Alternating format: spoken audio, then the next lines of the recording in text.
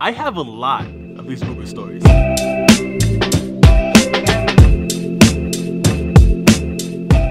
A lot of you guys don't know this about me. Well, all of you don't know this about me. Unless, of course, you are Charles Elatorre, Travi Williams, Christopher London, T. Pendel, or Mr. Got Jokes, then you don't know this about me. And that is I drove for Uber. I did Uber for about two months, but within those two months, I've accumulated a lot a lot of stories I could tell you guys. You don't believe me? You want more proof? This is the Uber sticker you put on the right side of your windshield when you go online. And this is an air freshener Uber gave to me when I got my vehicle inspected.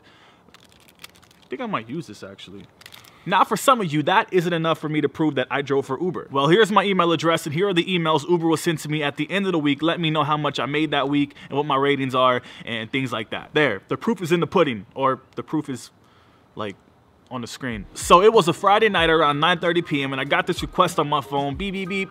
I accepted the request, I'm coming to get you. I get to this guy's location, I pick him up, he's like in his mid 20s. So far, he seems cool, we started talking everything was good. Until he said, yeah, you're taking me to my office because I left my snow there. And then I was like, uh, we're in Southern California. It don't, it doesn't snow here. Now, I didn't say that. I was thinking it with my mind. Now, me as a driver, I never cared about where they wanted to go. I'll just take them there, drop them off, let them do their thing, and I would get the money and I would I would leave. Damn, this sounds like I was in a cartel. And then he asked me, yeah, do you do snow? Like I knew what he meant, but I was really hoping he meant like some snow that you would see on the ground in the wintertime. I didn't, but I said to him, nah, man, I'm good. I don't want to try it.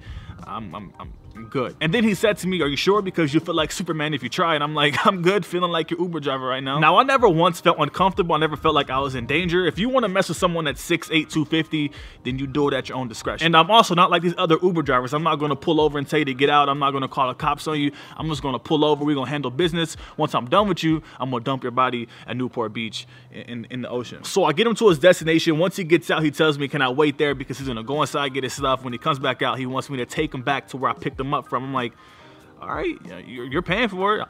I'll wait right here as long as you want me to. So I'll wait there for about five minutes and he gets back in my car and then I head back to where I picked him up from. So there I was driving. I look in my rear view mirror and I see him in the back seat doing cocaine, bro, out of his hand like, you sure you don't want to try some? Nah, I'm, I'm good. I'm a recovering alcoholic. I told him no to the cocaine. I didn't I didn't want nothing to do with it. I wanted to tell him to stop it before we have a problem, but then again I thought like, yo, if I tell him to stop it, he's gonna give me like a one star rating, and then my 4.98 is probably gonna go down to like a one star, and I'm not gonna be able to drive anymore and get this quick money. So I was like, do your thing, calm down. There was about six miles left on this trip, and I swear to you, within that six miles, I've never seen more cop cars in my life. So I'm thinking like, no, bro, I, I got locked up at eight years old. I'm not going back right now for a serious crime, um, drug traffic. I don't know. I, I don't know. I, I might have been safe because I was with Uber, but nah, Uber don't. Uber don't care. There was about one mile left on this trip and he tells me to pull over at the 7-Eleven so you can go inside and get this energy drinks. I'm like, if that makes you feel like Superman, then why do you need energy drinks? What do I know? I don't do cocaine. So he goes inside this 7-Eleven and I wanted to end the trip so bad and just drive off and leave him there, but I was like, nah, I can still get a bad rating that way. I'm gonna wait for him, only got one mile left. I'm gonna finish strong and get this money. So he gets back in my car and immediately starts I'm like, bro, calm down. Can you breathe? Yeah, I don't want you dying in my brand new car. Don't, calm down. I finally drop him off. He gets out of my car and he's like, yo, you're the coolest Uber driver ever, man. I'm gonna give you five stars. I hope we meet again. My passenger side window is rolled down, so he put his head through the window and tried to shake my hand. I'm like, I'm, I'm gonna really knock you out if you don't get your head, move. I didn't touch his hand. So he walks away and then I drive off and I'm not gonna lie to you, I drive like another mile before I ended the trip. Because you got cocaine in my car, like I'm gonna get an extra dollar fifty out of you just for like putting my, my life in danger. I eventually end the trip and I give him a one star rating. Now I never give anyone one star. It's either a five star or maybe like a four star if you're too drunk and you just want to be loud hanging out my back. I usually give five stars. But I gave this cocaine guy in particular a one star just so we can never get matched up again. Don't you start barking, bro, when I'm trying to finish. I will bite you. I gave him a one star so we can never get matched up again. I never seen him again. And life was just Where's my? Don't make me jump this gate. Got me out here dressed like a dad and stuff. If you guys enjoyed that story, make sure you give this video a huge thumbs up and do not forget to share it because sharing is caring and I, I love you a lot. So, oh my God.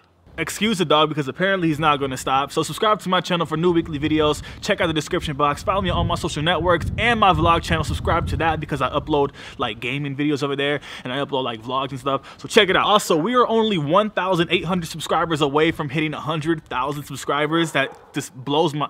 I'm gonna blow this dog's mind. So thank you for subscribing and thank you for your support. That's all I have for you guys this week. So until next week, remember, I'm only here to save your Monday. Can somebody save me right now? Cause, oh, I got this Uber.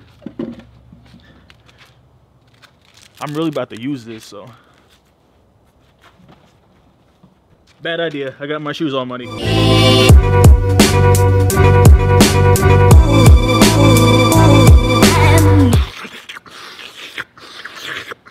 I'm like, bro, calm down. Can you breathe?